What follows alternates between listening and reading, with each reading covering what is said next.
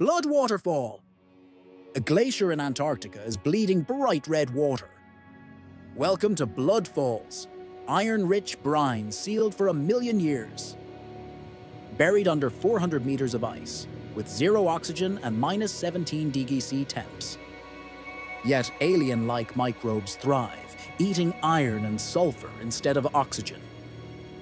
When the brine meets air, the iron rusts, turning the water crimson. Think Earth's biggest open wound, gushing 24-7 in the coldest desert. NASA studies it as a blueprint for life on Mars and Europa.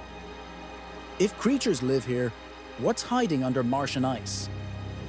One quake could unleash a river of red across the frozen valley. Still think Antarctica is boring? Subscribe and let Factopia bleed new facts into your feed weekly